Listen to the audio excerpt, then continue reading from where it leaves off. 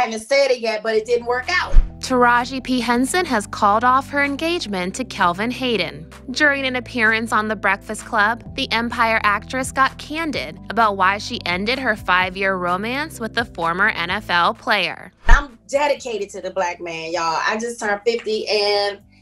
Wow. You know, and I haven't said it yet, but it didn't work out. You know what I mean? And Mm. And I tried. I was like, therapy, let's do the therapy thing. But if you're both not on the same page with that, then you feel like you're taking it on yourself. And mm. that's not a fair position for anybody to play in a relationship. My my happiness is not his responsibility, and his happiness is, is not mine. We have to first learn how to make ourselves happy, to make each other happy.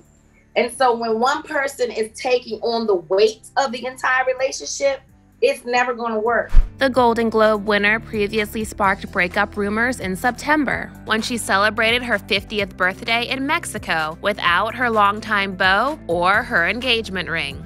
Kelvin proposed to Taraji in 2018, three years after they began dating. Months later, the What Men Want star dished proposal and wedding details to Access Hollywood's Kit Hoover and Scott Evans at the 2018 Emmy Awards. I'm yeah. still glowing. Are you a, will do it. Yeah. wedding girl? Do you care about that? I feel like your life is so exciting with everything. Well, for me, of course, I'm a wedding girl. I'm old school. I got. I come from a Southern family. Yeah. Um, so for me, the wedding will be. Um, my, my family loves to party, and so does his. So we're just gonna get right to it. Yeah. We're gonna march down that aisle, say our vows, and then let's party. I love it. I love it. What's your son think of it? Oh my God, he was there for the engagement. And really? my fiance confided in him, and he was like, "Do it, man. She'll be so happy."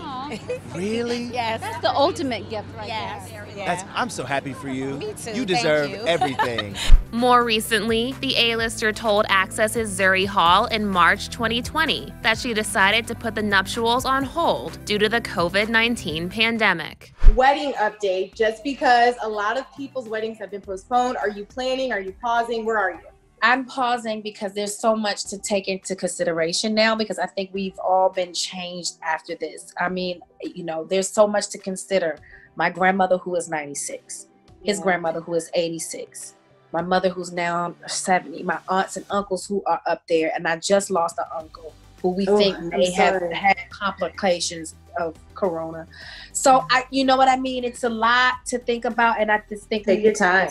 Pause stop, yeah. pause, and just think this thing through because we will be forever changed. Humanity will be forever changed after this.